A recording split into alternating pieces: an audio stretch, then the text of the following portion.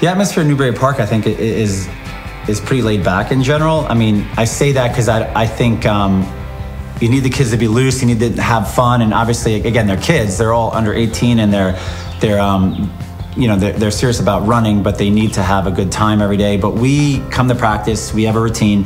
Everyone um, we have an area where we meet everyone knows how to stretch and uh, we have rope stretching we do and there's a routine with that. But i make sure before every practice if it's an easy run if it's a training run if it's a workout if it's whatever it is that day um, i always talk to the kids. I think you need to talk to them um, yes individually sometimes but as a group tell them what we're doing even if they already know if we're doing a training run or so forth. So you can't do it alone. Like you have to have the teammates around you and the environment to um, allow your runners to run fast. So I think um, having everyone who's really extremely competitive, all those all those people, Colin, Jace, my little brothers, um, they're all super competitive, and having that environment um, definitely helped us excel um, every at everyday practice. Yeah, we really try to motiv- motivate each other like as much as possible and just cheer each other on. Like, and we can kind of tell when we're having difficult workouts and stuff, and it's just we can motivate each other and just tell each other you're almost done, you're almost there, just get through this last part and it'll be fine and it'll work out for the better in the end. How would you describe what the atmosphere is in a typical workout? Competitive. Yeah, we're we're focused on being competitive at all times. You know, it's sometimes we really got to hold the horses back, but you know when we jump out there and we're doing uh, hill sprints, those guys are sprinting and they're racing to the top of that hill.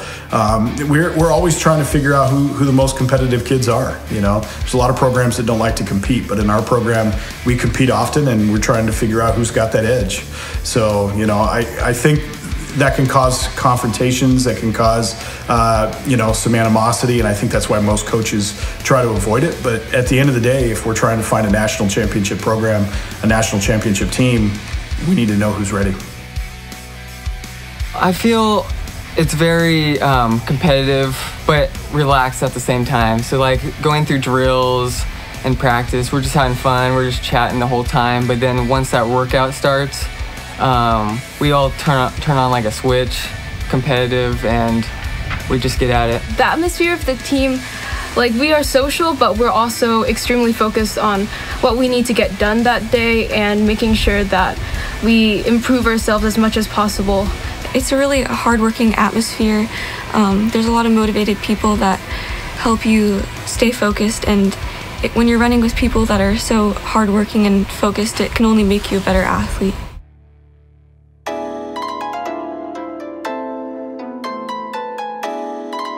So there, there's high intensity, there's high expectation, there's high uh, sacrifice.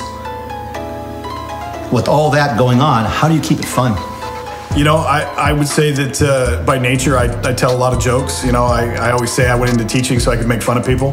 Most of the time, I'm able to go out and have fun with kids. And, you know, you, you cannot tease someone unless they can tease you back you know the kids like to have a lot of fun with me and they they they savor the moment that they come up with a good joke that they can tell in front of everybody and kind of catch me off guard and we try to make sure that uh, it's someplace they want to be. You know no one comes out there to hang out with coach Soles. You try to create a culture where when they're out there they're out there with their friends. Um, and that makes the biggest difference. You know they they show up every day because they want to be with their friends and then eventually start setting goals and eventually they start getting good enough that they're part of the team goals we, we keep things fun and we joke. I mean, I, I, have an air horn I always scare them with on the runs, and we I make things fun to practice. And I sometimes before we start a workout, I've even had a, like a, a popper gun that shoots confetti. This is a funny story. So right before Halloween, I think it was the day before Halloween, we had morning practice. They had a morning run. My wife was running the the supplemental training. I dressed in all black like robe thing. I put on a mask. I hit. I, I, I already scouted out a bush at Pepper Tree where they do their morning run. They left. It was all foggy out that morning. I hid behind the bushes. As the boys, I hear them talking. Oh, there about five or six of them running there, three mile morning run.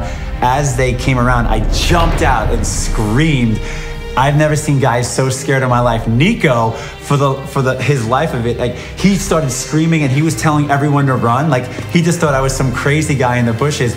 I only made it about 30 seconds and I took the mask off and I was like crying, laughing. But stuff like that, they actually, I mean, we talk about to today.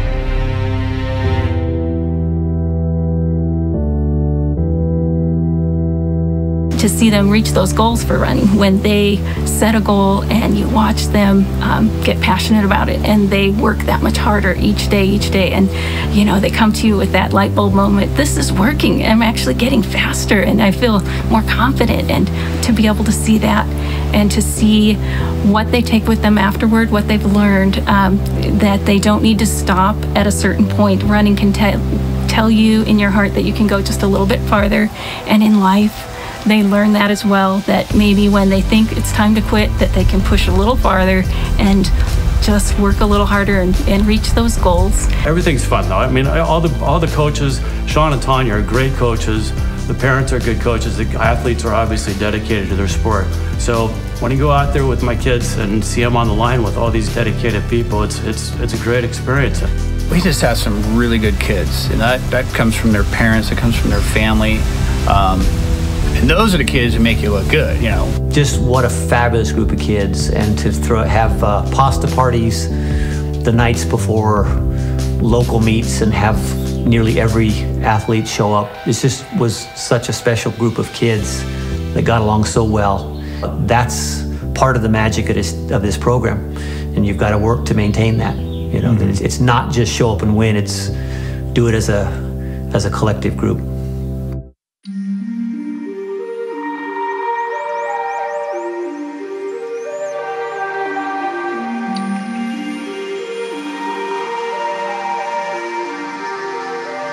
I want it to be positive, but positive doesn't mean you have to be nice.